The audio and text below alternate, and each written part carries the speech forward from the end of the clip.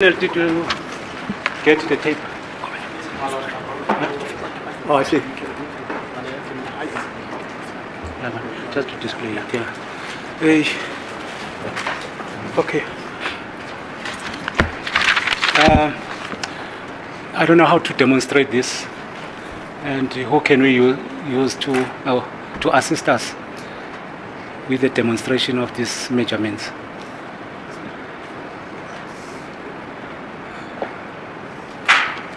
Can we use the interpreter, my lord? Mr. Jonas? Just to take the measurement from the floor to 1.3 and to 1.6, that's all. Oh, you may not use a court official. Use any other person. Ah, that's for completeness. Yeah. Yeah. Sorry, before I proceed, uh, did you take the measurement of the deceased body? On the deceased body. Yes. Uh, Oh man. I don't know who told the cameraman my request before lunch. I said, guys, can somebody tell the cameraman because he has no idea what is going on in the case. He's just at work, just angling the camera. But he needs to, after lunch, make sure that when Mngomezulu is cross-examining Mangena, that he shows us Bongani Ntanzi's reactions. Listen, Mr. Cameraman, thank you so much for honoring my request. If you didn't catch my previous video, please make sure you check out the playlist. I'm going to link it up here.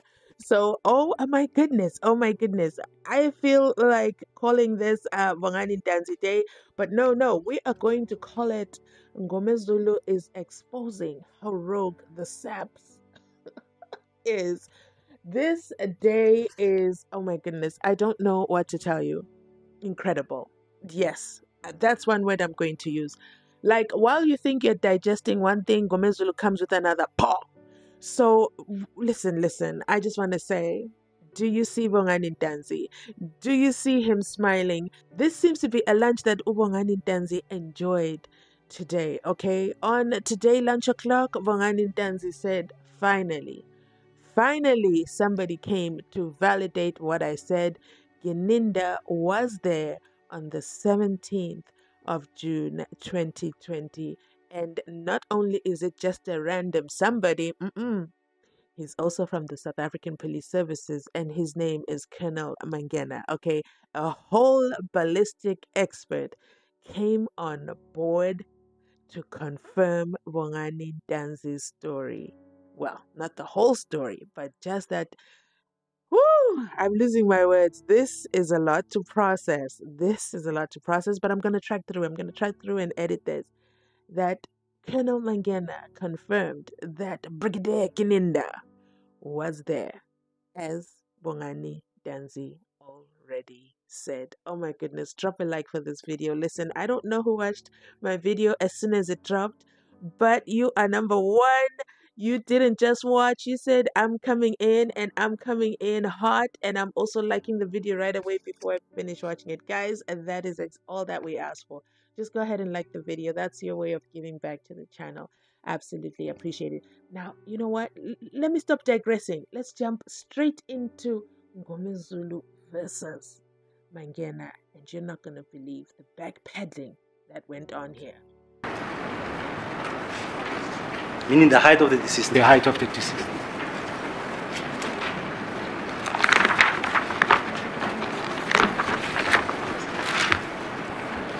It's one point. We can't use that. Who can we use? Mr. Mngomezulu, what do you want to demonstrate? The height of the deceased was 1.77. One point.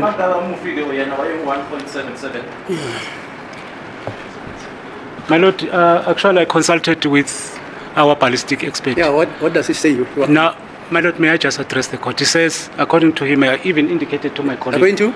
I've even indicated to my colleague, Advocate Baloyi, that it does not dispute the trajectory. He- he- the, the measurements are consistent with his findings. So I was of the idea that we can just ask for the sake of completeness, but I can withdraw that question as well. No, no, you don't have to withdraw anything. I just want to understand.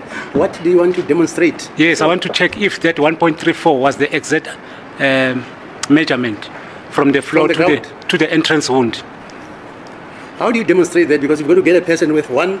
What's the 1.7. the height of uh, the, the deceased? The height of the deceased was 1.77. Yeah, get a person with that height. I don't know where you're going, where you're going to get him. And then you can say he must demonstrate how he located the wound on the chest and the exit wound at the, at the back. Fine.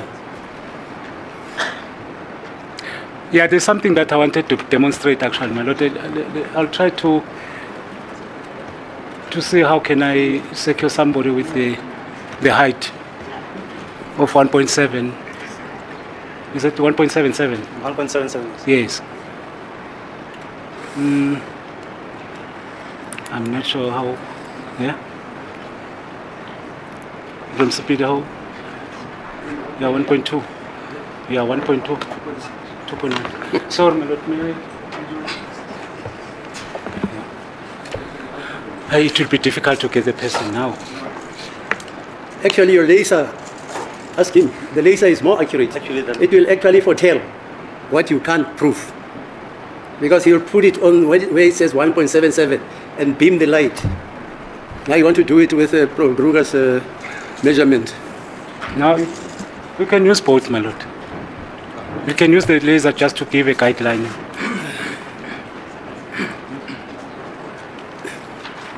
May I request the, the witness to use the laser at the moment? Yeah, if you want him to use the laser, fine. Because it's difficult to get uh, the person with such a height. uh, But for my edification, what is this exercise in aid of? Because the evidence is clear. The deceased Senzo was shot from the front. From, Yes. and the alleged, this is this evidence. The alleged shooter was a bit taller than Senzo. And the trajectory of the fire or the bullet went downwards. Is that not what you said, sir? My lord, the entrance wound is a contact shot in the chest. That's it's it, yeah. higher than the exit wound at the back. That's the point. So the trajectory Yes. is it's a downward angle. trajectory. But my concern is that the deceased was not standing upright. He was slightly bending forward. Do you agree with me, according to your observation? My lord, it's difficult to can say that he was bending a little bit front or to, to the front or was standing up straight. Because if you look at the trajectory, if he's standing up straight, the entrance is uh, just a little bit higher than that. The minute he bends down, it changes the trajectory completely because then the body bends to the front. Your trajectory can be a little bit straight. Yeah. And if it's a little bit straight, it doesn't fit to the trajectory or the bullet damage on the door. Mm-hmm. Because the damage on the door, will not be at the same level as your entrance and exit wound. So what I could say is most likely was standing up straight, where it enters at the front at the, the one point, I think it's 1.36 and hmm. 1.26 at the back, 1 1.34 at the front, 1.26. 1.26 at the back, and then the door is 1.2. So Yeah. it's a downward trajectory, and between the deceased and the door, there's a space, there's an opening. So Yes. on that opening, allows the bullet to, to, to, to travel a little bit down with about six centimeters if you compare. Because if it was against the, if this bag was against the, the, the, the door, the trajectory that doesn't fit. So he has to move a little bit to the front to create the space where the, the bullet can get the grace of losing about six centimeters to hit the door. Mr. Jonas, must I proceed? All right. So, uh, when I was listening to your evidence in chief, you cannot rule a possibility that there was a struggle over there between the deceased and the, the shooter. Can you rule the possibility that there was a struggle? My lord, since the deceased was shot in a contact shot, it's a loose contact shot. So in a loose contact shot, you cannot rule out the possibility that the deceased could have been, the deceased hands could have been on the firearm, or there could have been a struggle between the deceased and the, the, the shooter. Yeah, the probabilities could be two in relation to what I'm going to tell you. If there was a struggle, uh, if there was a struggle between the deceased and the shooter, especially on the damage, the damage on the floor, and you said it was approximately 90 degrees. That's correct, my lord. Yes. So the probability could be if there, there was a struggle, the firearm could have been facing down. As a result, a 90 degree shot was fired. Can we rule? in that instance, where the shot is the, uh, at 90 degrees to the ground, Yes. the firearm will be facing downwards. There's Correct. no other direction that it will face. It will be facing downwards. So to say that our, the distance between the ground and the firearm cannot be determined, but it was definitely facing downwards. The possibility, the second possibility that the probability that I want to put in a form of your evidence could be that if a struggle for the, if there was a struggle between the deceased and the, and the shooter was on the level of a shoulder, a 90 degrees also could be a possibility to strike on the ground on a level of a shoulder. If they were standing upright, maybe they were fighting for the, or whatever way they were fighting for, but on a level of a shoulder and the firearm is facing downwards. Could that possibility exist? That at that 90 degrees was shot on that level. My lord, I cannot comment on the position of the firearm, whether it was at shoulder level. If it's at shoulder level, to turn it at 90 Yeah, degrees, it's it's, difficult. But if the hand is down, on this facing down, this is the most likely it could have been the position. But at this end, and then you shoot down at 90 degrees, it's difficult. It's almost impossible to do that. um into ke leyo enzima noma ke ongathi ke angeke yenzeke ukuthi ke babe kule level ke yehlombe nokuthi isandla bese siyajika ke sibheka phansi kodwa ungakusho ukuthi ke isandla ke sasisenzansi ke lapho ke ila inhlamvu ke manje isingashaya khona phansi Okay. Now let's proceed to where we ended uh, before lunchtime. Then you proceeded to accuse number three, where he was, I think it was Johannesburg Accused Correctional number Services. three was at Johannesburg Correctional Services. Yes. You, you did the same exercise with Brigadier Gininda. That's correct. yebo ke ngase ngiye manje ke eh, ku accuse number 3 yena ke wayese Johannesburg senza ke futhi lokho ke sasikwendile ke Was he present? Was Brigadier Gininda present? Brigadier Gininda was present. My lord, I just want to rectify. I think I've uh, confused the two incidents. At Villieria, we met first in the office, and then we went to at at at, at, uh, no, at yeah at Pretoria North. Brigadier Gininda called me, and I met Mo- Mohano and someone else. I can't remember who was there, but I can recall that Brigadier was not there. So before lunch, Colonel Mangena was very adamant to explain to Mngomezulu how it happened that he met up with Brigadier Gininda on the 17th of June 2020. He was so insistent that he's not going to give a yes or no answer, but he wants to explain. Okay. Then he lets the cat out the bag that Gininda was there.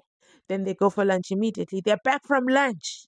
And now he's stuttering. He's telling us he wants to make a rectification. He wants to rectify. Rectify. Rectify what, Mangena? We are done with that topic. We have moved on. We're now talking about accused number three. And you want to go back to Bongani Ntanzi because you know you sold uh, you sold Gininda. And you know what? We're sticking with the first answer. We are sticking with the first answer. How dare you, a colonel, okay? A colonel, a ballistic expert, tried to change your answer on the witness stand. What a shame after lunch. What did you eat for lunch that suddenly helped you recollect your memory, sir? This is an embarrassment. It is time Judge Ratha starts to take action so that people take that oath really seriously in his courtroom because it is a joke, okay? It is a joke. No ways. There is no way. He couldn't even finish his sentence. He said, I met Mach. Oh, I can't remember.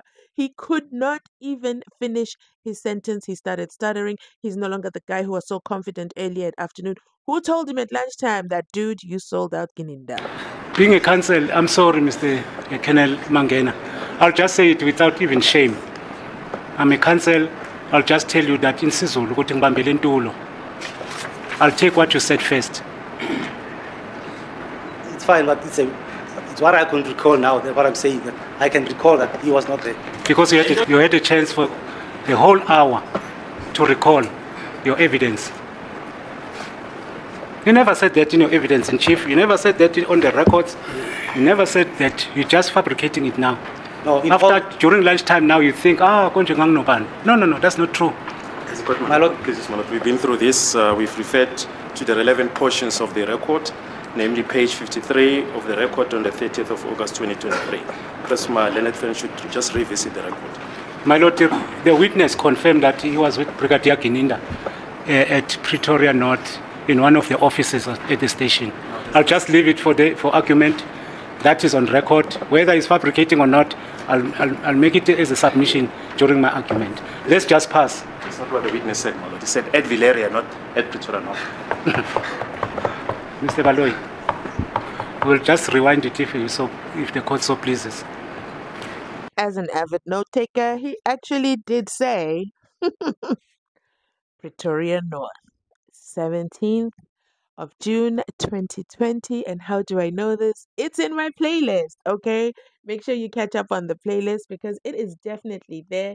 This is video, let me just check which video this is. Video part four. Video four. Video part four. That is when Mangena literally said Pretoria um, Pretoria North Prison, and Baloyi does not correct him then. Why is Baloyi jumping up and down now? Stop it, Mr. Prosecutor. Let's get back to Mngomezulu. was commissioned. After the arrest of the accused in May of 2020, see referring to a document, what is it? These are, this is my notebook. that I normally write my notes when I. Did you make entries, entries in that notebook? I made some notes when I was busy working on. Yes. And, and, and when did you make those notes? I normally make notes on the same day when I have it. You want to refresh your memory out of the notebook? Yes, my lord. I just want to check the dates. You can maybe revert to those dates. You can just tell the courts, the court what happened during, during those days.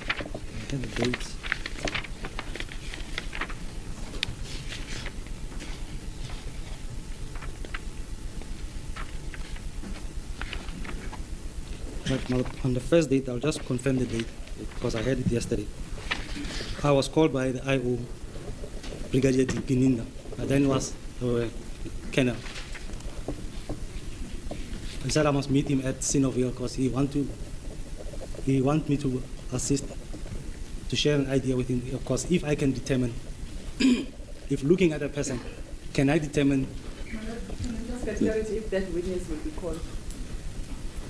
the court please, my lord, the witness has hardly said anything. He's the investigating officer. We will be calling him. Um,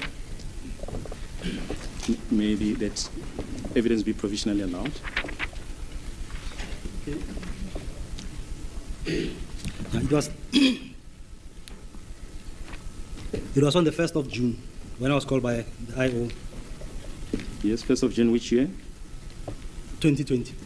What he wanted to know from me is if I look at the bullet trajectory from the crime scene on the bullet that perforated the body of the deceased, and if we have a person of interest, can I be able to determine if the height of this person can allow him to be maybe to exclusively that this can be the person who discharged the firearm?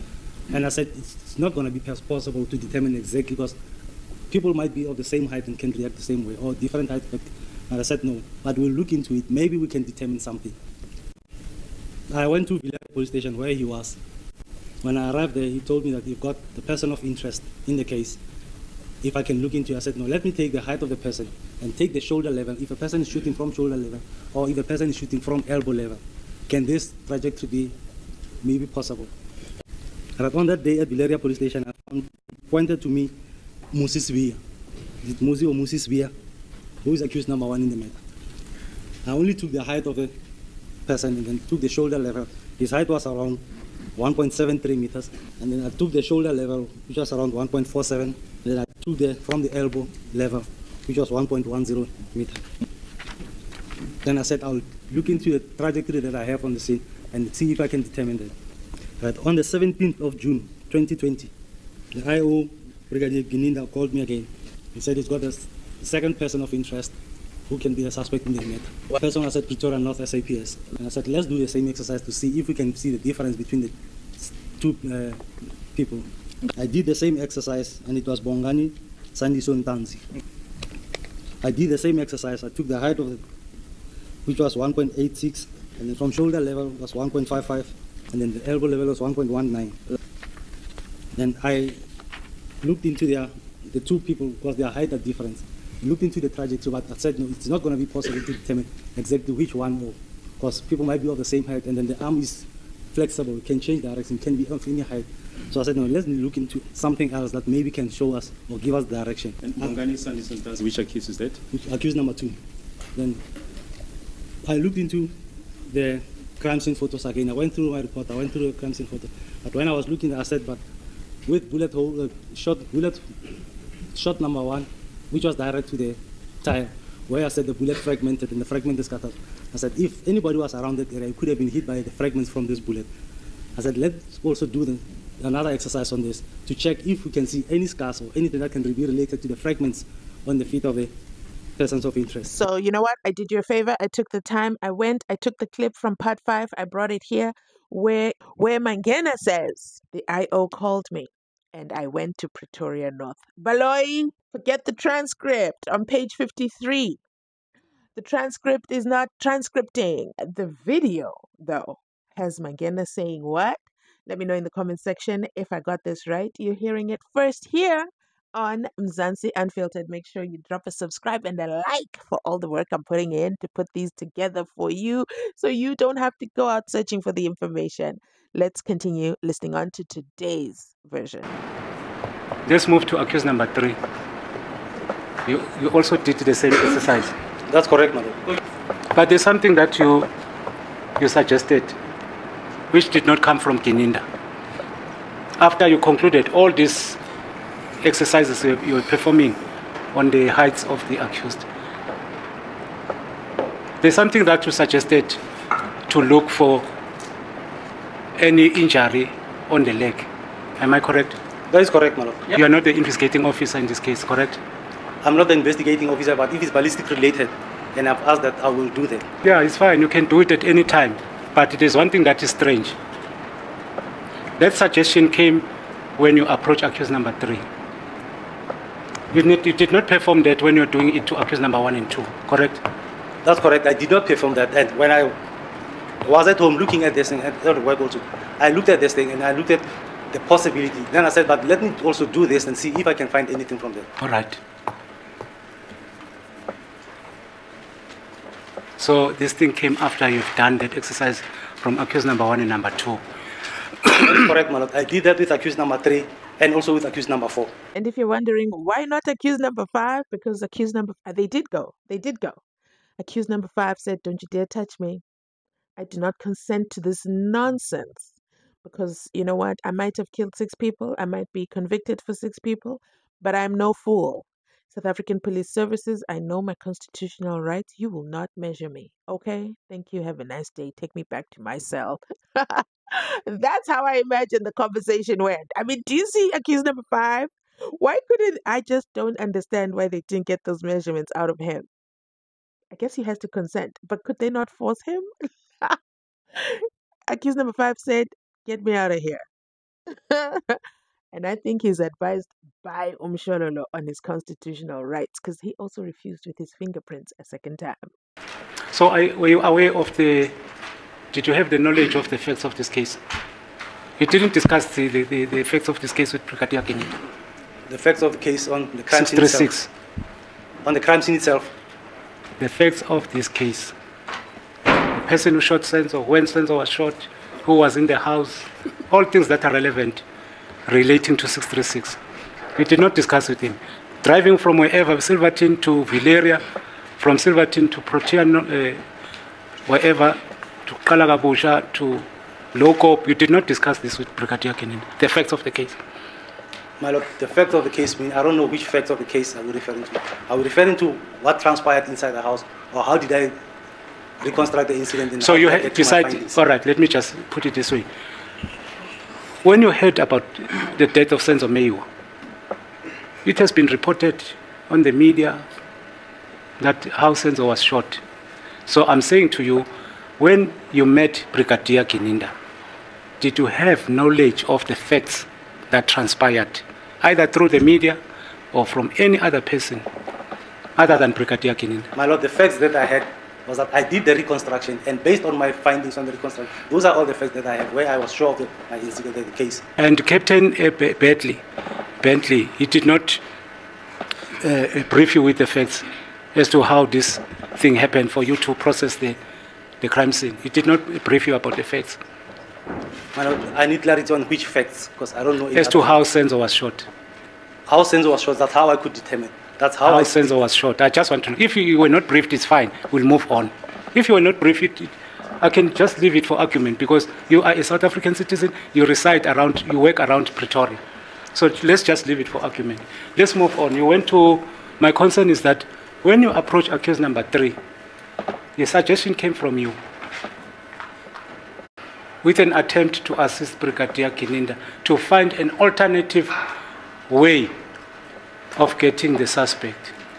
That's when you suggested that you should look at a person who, was injured, who was injured.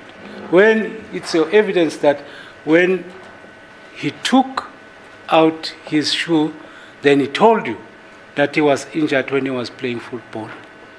That is that so? correct, lord. That's what he told me. I'll leave that for Mr. Mnisi to advance on it, but did he consent, did he voluntarily say that to you? That's correct. He voluntarily said it. The only thing, the only thing that I've requested from you is that can you take off your shoes and your socks? I just want to check something on your legs. Yes. And that's when he said no. The scars that you can see on my legs are from my childhood when I was playing soccer out there. What was your response after he, he did that? What did you do after that? Or what did you say after he has taken out those? My lord, I didn't say anything. I continued to check, but I couldn't see any scars on the legs. But I'm, I'm going back to the, to the same question, to the same evidence that you said, if a person was closer to the person who shot on the ground, could be injured. There was a possibility that even the person who was holding a firearm could have been injured by those, you said fragmented and cause uh, damage to the next person. Was it possible that even the shooter could be uh, uh, injured? That's correct, my pos- that possibility cannot be ruled out. And after you, you have checked accused number three, and you concluded that there were no injuries. My lord, not necessarily that there were no injuries. Yes. I could not see any scars because the fragments would be very small. They could have created very small scars. And if you look at the time when we did conducted the test and the time of the incident, it's how many years passed. So the possibility that there could have been injuries and the, the, the, wounds were healed and the scars were because they were very small, I couldn't see them. Based on what you are just saying now, the suggestion that you made to Brigadier Gininda, that means it was fruitless. It was fruitless because it didn't produce any results. Not necessarily fruitless. If I Did- could have seen something. But you didn't find anything. But because I didn't find anything. That's correct. It's, It's the same as taking all the measurements. I took all the measurements to de- try and determine something, but I couldn't determine anything Thank you. from that.